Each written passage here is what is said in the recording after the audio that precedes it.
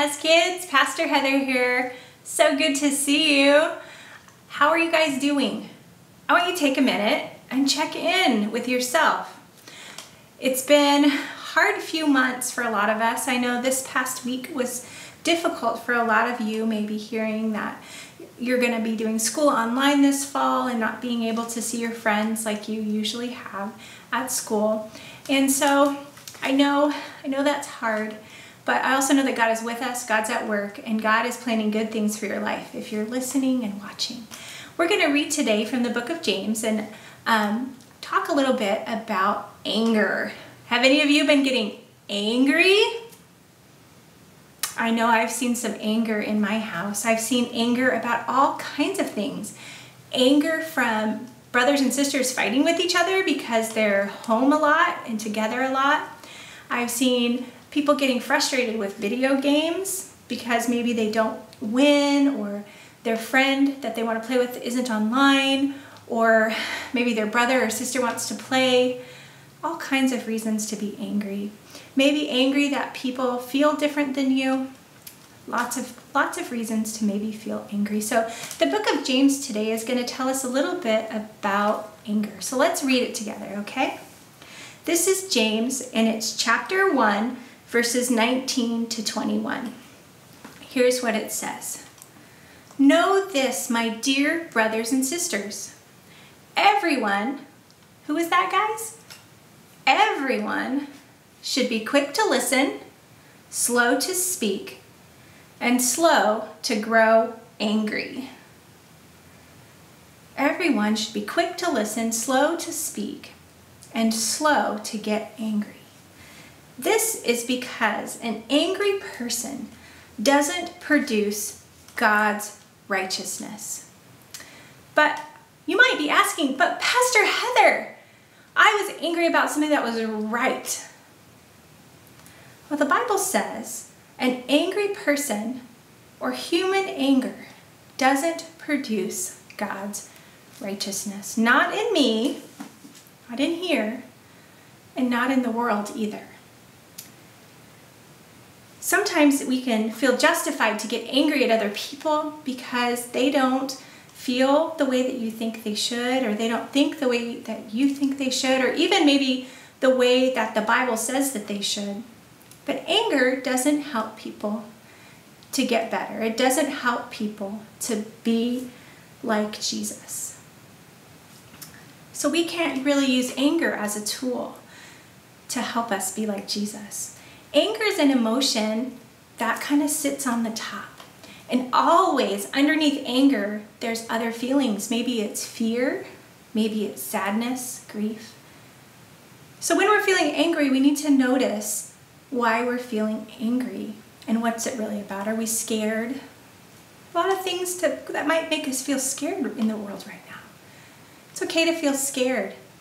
Maybe we're sad. It's okay to feel sad.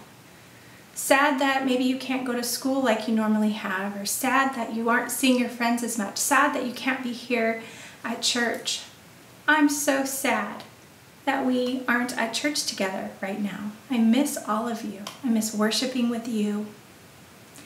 But me being angry about that isn't what's going to help. Let's see what the Bible says is going to help. It says, therefore, so because everyone should be quick to listen, slow to speak, and slow to become angry, therefore, with humility. What's humility? Can you tell your brother or sister what you think that means, or your mom, or your dog, or your teddy bear? Tell somebody what you think humility means.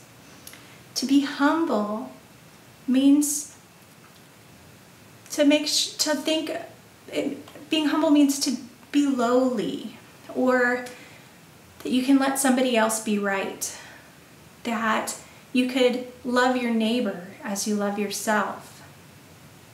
It means putting another person first.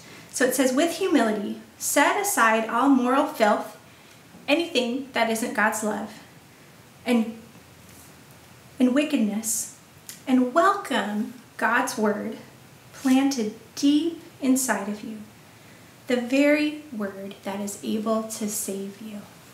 Isn't that beautiful? So basically, what James is saying here is Since we should be slow to become angry, what we should do is to be humble, to do justly and love mercy, to love our neighbor as ourselves, and welcome God's words. A lot of times I find that when I'm reading God's word, I'm reading it from a perspective where I want to be right. I want to be the hero of the story. But a lot of times, if we read God's word and we let it humbly come inside us, this word that's so beautiful and able to save us. Sometimes I'm not the hero of the story. Sometimes maybe I'm more like Pharaoh in the story of the Exodus. Sometimes I'm more like Moses. Sometimes I'm like the slaves that are moaning and groaning because they don't like what's going on in the story.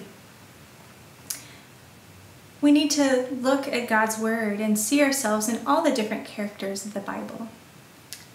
And let that Word do its work so that we can be mature and complete, lacking nothing. I have a balloon here, and I just wanted to show you a little bit about anger. Sometimes something that happens when we're angry is we shove it inside of us, right? We don't say anything. We're mad, but we just keep our mouth shut, right? Because this verse, you know, it says that we should be quick to listen and slow to speak. So we just keep, keep all of it inside. Slow to speak, right? But we're still angry inside. And you know what might happen if we are angry inside but we're slow to speak? Oh my. Sometimes we blow up. So that's not what this is saying. This is not saying to just keep all your anger inside until you blow up. This is saying to take your anger to God and to have Him help you let the air out slow and to do it in a way that honors God. So we use God's word and listening for God's voice. So when we feel angry, we can still be quick to listen and slow to speak. But then we take it to God, into God's word, and God helps us to do this.